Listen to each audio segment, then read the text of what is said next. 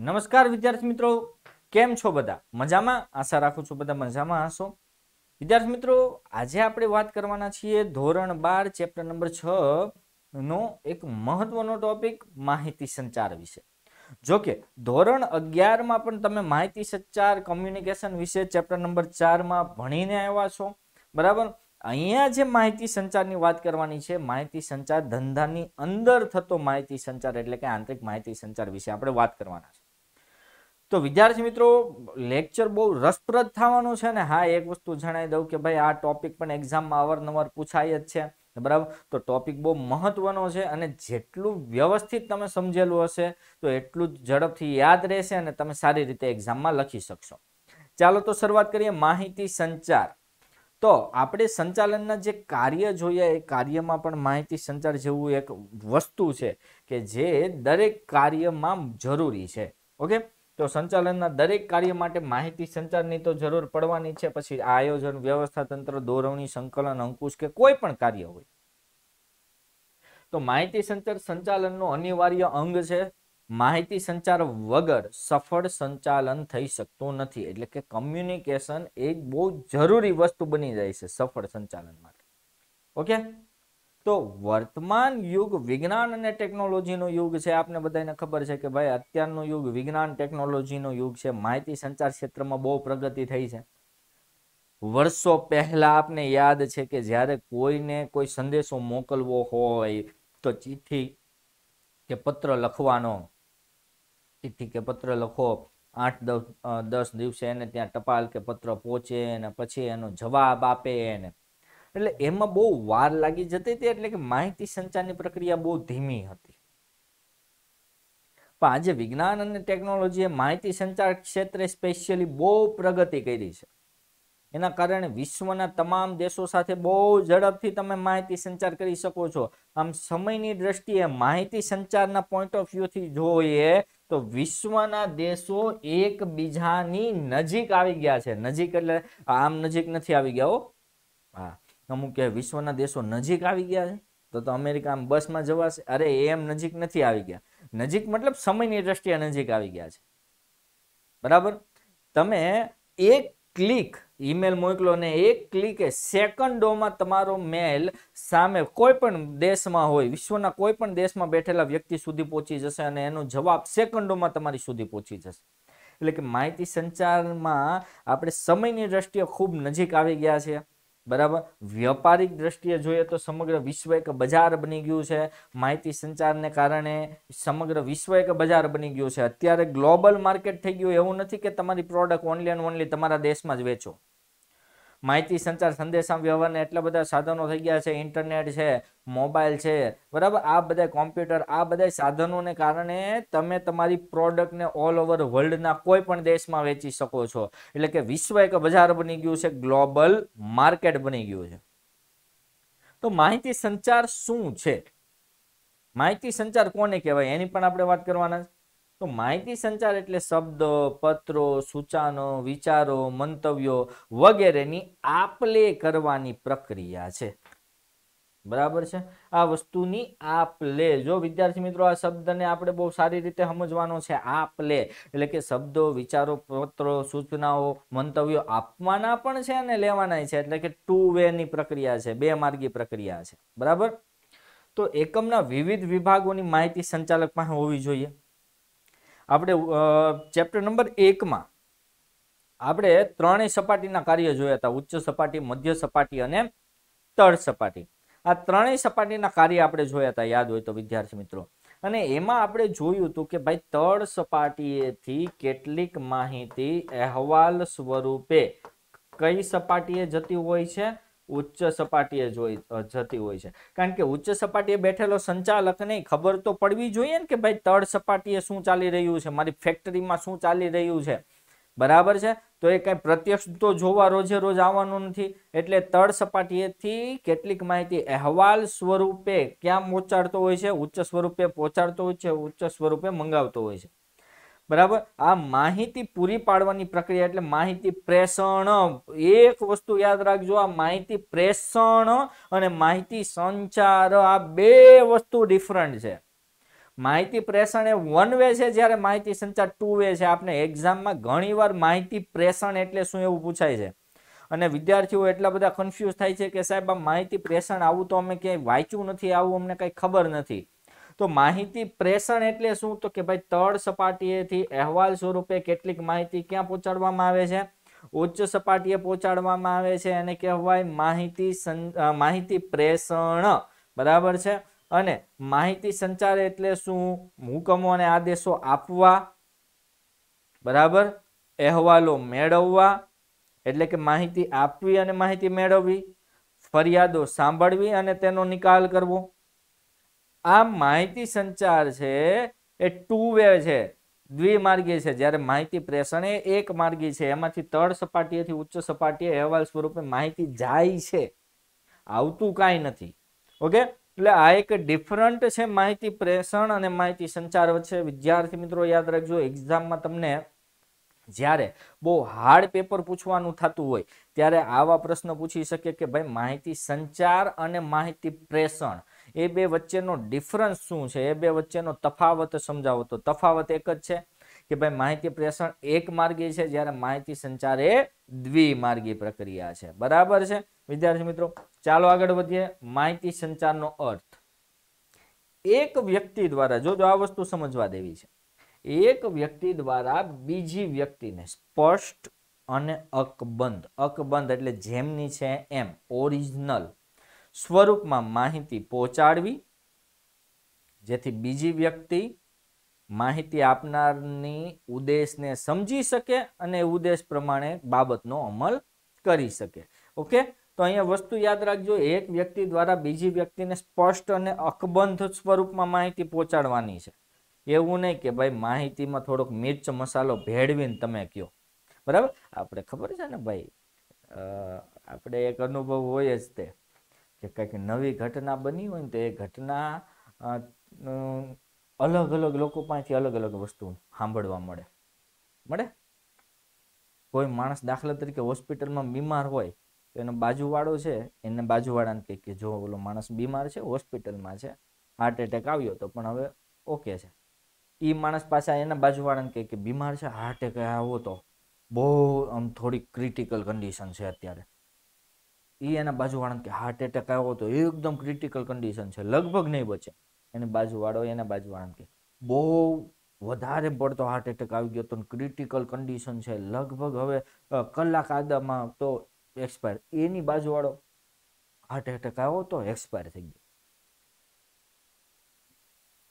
આમ માહિતી અકબંધ કોને કહેવાય? ઓરિજિનલ રહેવી જોઈએ. જે માહિતી ઓરિજિનલ છે, એ જ છે સુધી પહોંચવી જોઈએ. તો એને સ્પષ્ટ ને અકબંધ માહિતી કહેવાય. બરાબર? અકબંધ માહિતી પહોંચાડવી જેથી સામે વાળો માણસ સમજી શકે અને માહિતી પ્રમાણે કાર્યનો અમલ કરી શકે. બીજું કીધું છે, માહિતી સંચારે શબ્દો, પત્રો, સૂચના, વિચારો કે મંતવ્યોનું આદાન પ્રદાન કે આપ લેની પ્રક્રિયા છે. જોજો અહીંયા શબ્દ વાપરો. આદાન પ્રદાન. એટલે કે શબ્દો, પત્રો, સૂચના, મંતવ્યો કે વિચારો મેળવવા અને આપવા. આ બે પ્રક્રિયાનો માહિતી સંચારમાં સમાવેશ થાય છે. વિદ્યાર્થી મિત્રો, યાદ રાખજો. ન્યુમેન અને સંબંધની વ્યાખ્યા પણ જોઈ લઈએ. જે ધોરણ અગિયારમાં પણ જોઈ હતી કે માહિતી સંચાર એટલે કે હકીકતો, વિચારો, અભિપ્રાયો, લાગણીઓની બે કે તેથી વધુ વ્યક્તિઓ વચ્ચે આપ લે થાય એને કહેવાય માહિતી સંચાર. ઓકે? તો માહિતી સંચારની આ ત્રણ વ્યાખ્યા જોઈએ. આપણે કોઈ પણ વ્યાખ્યા યાદ રાખી લેવાની. જે તમને સરળ લાગતી હોય, તમને ઈઝી લાગતી હોય એવી કોઈ પણ વ્યાખ્યા રાખી શકાય. ઓકે? ચાલો આગળ વધીએ.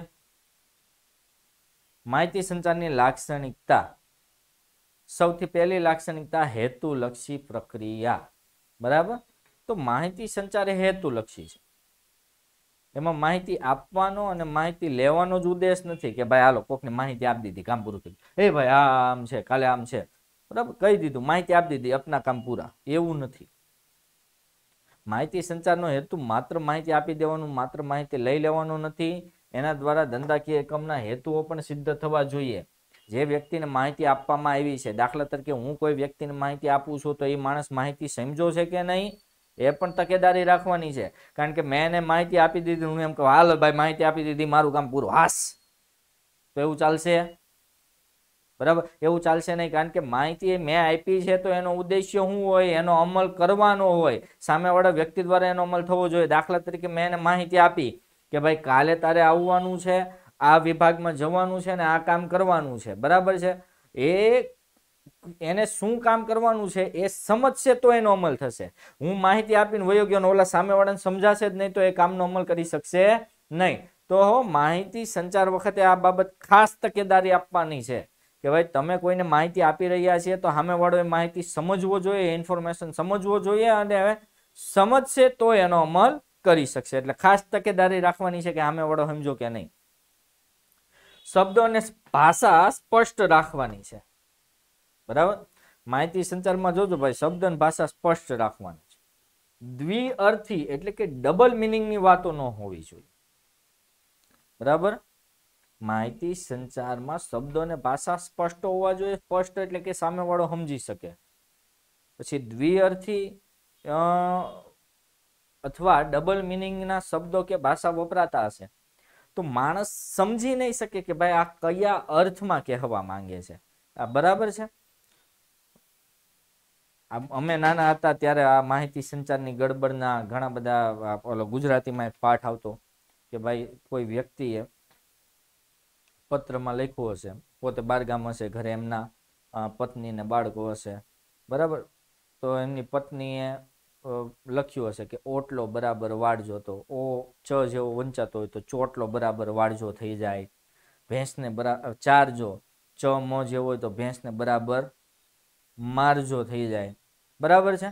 એટલે કે અર્થનો અનર્થ થઈ જતો હોય છે. એટલે માહિતી સંચારમાં વસ્તુ તમારે બહુ ધ્યાન રાખવાની છે કે ભાઈ શબ્દ અને ભાષા બને એટલા સ્પષ્ટ વાપરવાના છે. સામે વાળો સમજી શકે એવા વાપરવાના છે. ઓકે? આગળ દ્વિમાર્ગી પ્રક્રિયા છે. દ્વિમાર્ગી એટલે કે ટુ વે માહિતી આપો, માહિતી મેળવો. બરાબર? તો સંચાલકો પોતાની નીતિ, વિધિ, નીતિ, નિયમો આ બધું તળ સપાટીએ મોકલે છે. અને તળ સપાટીએથી જરૂરી માહિતી અહેવાલ સ્વરૂપે ઉચ્ચ સપાટીએ આવે છે. આ માહિતી સંચાર દ્વિમાર્ગી પ્રક્રિયા છે. ટુ વે પ્રક્રિયા છે. એમાં ઉચ્ચ સપાટીએથી માહિતી તળ સપાટીએ આવે પણ છે અને તળ સપાટીએથી રિપોર્ટ સ્વરૂપે, અહેવાલ સ્વરૂપે માહિતી ઉચ્ચ સપાટીએ જાય પણ છે. બરાબર? અને આપણે માહિતી પ્રેષણ અને માહિતી અહેવાલના સોરી માહિતી સંચારના જે તફાવત છે, તફાવતમાં પણ આપણે જોયું હતું કે માહિતી પ્રેષણ વન વે છે, માહિતી સંચાર ટુ વે એટલે કે દ્વિમાર્ગી છે. બરાબર? વિદ્યાર્થી મિત્રો, આપણે ટોપિકને આગળ વધારીએ. પહેલાં જણાવી દઉં કે વર્ષ બે હજાર બાવીસ ત્રેવીસ માટેના વિદ્યાકુલના એડમિશન ચાલુ થઈ ગયા છે. અને ફર્સ્ટ બેચ ઓલમોસ્ટ ફૂલ થઈ ગઈ છે અને વિદ્યાર્થી મિત્રો, થોડા ઘણા એડમિશન બાકી છે. તો ઝડપથી એનરોલમેન્ટ કરાવો. તમારું ફી સ્ટ્રક્ચર તમારી સામે છે.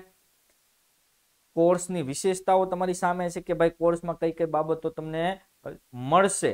અને સાથે સાથે એડમિશન કઈ રીતે લેવું એનો નંબર પણ છે અહીંયા દેખાય છે, નવ્વાણું બે ચુમ્માલીસ પિસ્તાલીસ ચારસો. બીજું, વિદ્યાકુલ દ્વારા ઓનલાઈન શિક્ષણ આપીને પણ જળહળતું સફળતા મેળવી છે. અને વિદ્યાકુલનું પાસ્ટ યરનું પરિણામ જોવું હોય તો આ જ ચેનલના ઘણા બધા વિડીયોમાં તમને પરિણામ દેખાશે કે કેટલા બાળકોના એ ગ્રેડ છે અને કેટલા બાળકોએ ગુજરાતમાં ફર્સ્ટ સેકન્ડ અને થર્ડ રેન્ક ઉપર આવ્યા છે. આગળ વધીએ. ચોથું કાયમી પ્રક્રિયા, માહિતી સંચાર એ કાયમી પ્રક્રિયા છે. એટલે કે કોઈ પણ કંપનીની શરૂઆત થાય, ત્યારથી માહિતી સંચારની શરૂઆત થઈ જતી હોય તે કંપનીના એન્ડ સુધી માહિતી સંચાર અવિરતપણે ચાલ્યા રાખે. એકમની શરૂઆતથી માંડીને એકમના અંત સુધી માહિતી સંચાર સતત ચાલ્યા જ કરે છે. પાંચમું, અસંખ્ય સાધનો. ભાઈ, માહિતી સંચારના સાધનો તો અત્યારે કેવું જ ન પડે, એટલા છે. આમાંથી કેટલાક સાધનો એવા છે જે હવે લુપ્ત થઈ ગયા છે. વપરાતા નથી. તો આધુનિક સમયમાં માહિતી સંચારને અસરકારક બનાવવા અનેક સાધનો છે. એ સાધનો કયા કયા છે? પેલું લેખિક ને મૌખિક સંદેશાઓ. જે આપણે લેટર, મૌખિક સંદેશાઓમાં તો ટેલિફોન છે જ, મોબાઈલ છે, ફેક્સ. બરાબર? ફેક્સનો ઉપયોગ હવે બહુ ઓછો થઈ ગયો છે. વોટ્સઅપ ને એવું બધું થતા. પણ તોય ક્યાંક ક્યાંક વપરાય છે. મોટી મોટી કચેરીઓમાં એમાં. ઇન્ટરનેટ છે, મોબાઈલ ફોન છે એસ એમ એસ એનો ઉપયોગ આપણે ઓછો કરી દીધો. વોટ્સએપ આવી ગયું. ચેટિંગ કરવાનું ને એસએમએસ કોણ મોકલે? બરાબર? ટેલેક્સ આ બધા માહિતી સંચારના સાધનો છે. એટલે કે વર્તમાન સમય એવો છે એમાં માહિતી સંચારના ઘણા બધા સાધનો ઇન્સ્ટ્રુમેન્ટ જોવા મળે છે જેના દ્વારા ઇઝીલી તમે માહિતી સંચાર કરી શકો છો. ઓકે આગળ વધીએ. અનેક પ્રકારોને પદ્ધતિ માહિતી સંચારના અનેક પ્રકારો, અનેક પદ્ધતિ છે. અને એ પ્રકારોની વાત ધોરણ અગિયારમાં પણ આપણે કરી ગયા હતા કે ભાઈ માહિતી સંચારના અનેક પ્રકારો છે. પેલો આંતરિક માહિતી સંચાર એટલે કે ધંધાની કે કંપનીની અંદર થતો માહિતી સંચાર એ આંતરિક છે. બીજું બાહ્ય માહિતી સંચાર. બાહ્ય માહિતી સંચાર એટલે કે કંપનીની બહારના લોકો સાથે વિવિધ પક્ષકારો સાથે થતો માહિતી સંચાર એને બાહ્ય માહિતી સંચાર કહેવામાં આવે છે. દાખલા તરીકે કંપની એના શેર હોલ્ડર સાથે માહિતી સંચાર કરે, કંપની એના ગ્રાહકો સાથે માહિતી સંચાર કરે, કંપની એના રોકાણકારો સાથે માહિતી સંચાર કરે, એ બાહ્ય માહિતી સંચાર કહેવાય. લેખિત માહિતી સંચાર એટલે તમને બધાને ખબર છે, જે રિટર્નમાં હોય, લખેલો હોય ને લેખિત માહિતી સંચાર, મૌખિક એટલે બોલીને. બરાબર? ઈશારા દ્વારા માહિતી સંચાર ઈશારા દ્વારા માહિતી સંચાર ખબર જ છે આપને બધા એને બરાબર છે ને? ઈશારા ખબર જ હોય ને? હા બરાબર, આ બધા ઈશારાઓ તમને વધારે ખબર જ હોય છે. તો ઈશારા દ્વારા પણ માહિતી સંચાર થતો આ માહિતી સંચારની ઘણી બધી પદ્ધતિઓ છે, ઘણા બધા પ્રકારો છે. સાતમું કાર્ય પ્રેરક પ્રવૃત્તિ. તો બેટા કાર્ય પ્રેરક કોને કહેવાય? આપને પ્રશ્ન થાય, સાહેબ કાર્ય પ્રેરક એટલે શું? તો કાર્ય પ્રેરક કાર્ય એટલે કામ, પ્રેરક એટલે પ્રેરણા. જે પ્રવૃત્તિ કામ કરવાની પ્રેરણા આપતી હોય એને કાર્ય પ્રેરક પ્રવૃત્તિ કહેવામાં આવે છે. તો માહિતી સંચાર કાર્ય પ્રેરક પ્રવૃત્તિ છે. કારણ કે માહિતી સંચારથી શું થાય? અધિકારીઓ કે કર્મચારીઓને કાર્યની સમજ વધે. કઈ રીતે કામ કરવું ને એની સમજ વધે. પરિણામે કાર્ય કરવાની પ્રેરણા મળે છે. કાર્યની સમજ વધે એટલે કાર્ય કરવાની પ્રેરણા મળવાની છે. દાખલા તરીકે મને કોઈ માહિતી સંચાર કરી દે કે ભાઈ તમારે ધોરણ બારના આ આ ટોપિકના રેકોર્ડેડ લેક્ચર બનાવીને બહુ મહત્વના ટોપિક હોય કે જે એક્ઝામમાં અવારનવાર પૂછાતા હોય, એના રેકોર્ડેડ લેક્ચર બનાવી અને તારીખ આટલા સુધીમાં મને જમા કરાવવાના છે. મને આવી સ્પષ્ટ કોઈ માહિતી આપશે તો મને સમજ પડશે કે હા, મારે શું કામ કરવાનું છે? પરિણામે મને એ કાર્ય કરવાની પ્રેરણા મળશે, મને રેકોર્ડેડ લેક્ચર બનાવવાની પ્રેરણા મળશે, હું એ લેક્ચર બનાવતો થઈશ કારણ કે મારે શું કરવું એની મને ખબર છે, એની મને સમજ છે. ઓકે વહીવટી પ્રક્રિયા સાથે સંબંધ, માહિતી સંચાર એકમના એટલે કે કંપનીના વહીવટી પ્રક્રિયા સાથે સંબંધ ધરાવે છે. કોઈ પણ કંપની અસરકારક નિર્ણયો લેવાના હોય, સારામાં સારા નિર્ણયો લેવાના હોય તો માહિતી સંચારની જરૂર પડે, માહિતી એકઠી કરવામાં આવે કોઈ પણ પ્રશ્ન હોય, કોઈ પણ સમસ્યા હોય તો એ પ્રશ્ન કે સમસ્યાનો ઉકેલ જાણવા માટે પહેલા તો પ્રશ્ન કે સમસ્યા વિશે માહિતી તમારી પાસે હોવી જોઈએ કે એકચ્યુઅલી પ્રોબ્લેમ શું છે? હકીકતમાં ખરેખરમાં પ્રોબ્લેમ શું છે? સમસ્યા શું છે? એની માહિતી હોવી જોઈએ. બીજું એ સમસ્યા શા માટે ઊભી થઈ છે? એની માહિતી હોવી જોઈએ. હવે સમસ્યાના નિરાકરણ માટે શું કરવું? એનો નિર્ણય તમે લઈ શકો છો. તો ધંધાકીય એકમના વહીવટી બાબતે કોઈ પણ પ્રશ્ન હોય, કોઈ પણ સમસ્યા હોય, તે પ્રશ્ન કે સમસ્યાના સોલ્યુશન માટે, એના નિરાકરણ માટે માહિતી સંચાર જરૂરી છે. માહિતી સંચાર દ્વારા તમને પ્રશ્નોના સોલ્યુશન કઈ રીતે કરવું, એની માહિતી મળશે. ઓકે? અને છેલ્લે માનવીય પ્રક્રિયા છે, તમે યાદ રાખજો કે માહિતી સંચાર માનવીઓ વચ્ચે ધંધામાં થવાનો છે અને માનવીની સ્વભાવગત બાબત છે માનવીય સંચાર. માધ્યમો ગમે એ વાપરો, તમે માહિતી સંચારનું. ટેલિફોન વાપરો, ઇન્ટરનેટ વાપરો, ફોન વાપરો, એનાથી કોઈ મતલબ નથી. પણ માનવીનું કૌશલ્ય માહિતી સંચારને અસર કરે છે. જો ભાઈ એક વસ્તુ યાદ રાખજો, માનવીનું કૌશલ્ય અસર કરે. માહિતી સંચાર વખતે ભય હશે, ક્રોધ હશે, લાગણી હશે, એ બધી બાબતો માનવી માહિતી સંચારને અસર કરે છે. તમે આમિર ખાનનું પીકે મૂવી જોયું હશે. શબ્દ એક જ હોય, પણ અલગ અલગ લાગણીઓમાં અલગ અલગ થતા હોય. ક્રોધમાં અચ્છા! બરાબર? વિચારતો હોય ત્યારે અચ્છા! બરાબર? કાંઈક આંચકો લાગે સરપ્રાઈઝ હોય ત્યારે અચ્છા! આમ માહિતી સંચારમાં કેવું છે કે માનવી છે ને માનવી, એની જે પણ કઈ ભય, ક્રોધ એવી લાગણીઓ છે, એ લાગણીઓને આધારે માહિતી સંચાર થતો હોય છે. શબ્દો એના એ જ હોય છે. પણ અલગ અલગ માનવી, મેન્ટલ પરિસ્થિતિમાં, અલગ અલગ માનવીય પરિસ્થિતિમાં એ શબ્દો છે, બરાબર, એ અલગ અલગ રીતના માહિતી સંચારના ભાવ પ્રગટ કરતા હોય છે. તો વિદ્યાર્થી મિત્રો, આપણે આજે આટલું જ રાખીશું વિદ્યાર્થી મિત્રો, જો લેક્ચર ગમે તો લાઈક અને શેર કરવાનું છે. તમારા દસ પંદર મિત્રો સુધી પહોંચાડી દો. થકો શેર અને હા, વિદ્યાર્થી મિત્રો, ચેનલને સબસ્ક્રાઇબ કરવાનું ભૂલતા નહીં. અને સાથે સાથે ધોરણ બારનું અને ધોરણ દસનું બે હજાર બાવીસ ત્રેવીસનું સોરી ત્રેવીસની જે માર્ચ સોરી માર્ચ બે હજાર બાવીસની જે એક્ઝામ લેવાય છે, એનું જે પરિણામ છે, પરિણામ પણ તમને આ ચેનલ પર દેખાશે તો એ પરિણામ પર નજર મારી લેજો કે ભાઈ વિદ્યાકુલ છે, એને કેવી ઝડહટથી સફળતા મેળવી છે. તો ચાલો વિદ્યાર્થી મિત્રો, હવે રજા લઈએ. Thank you have a good day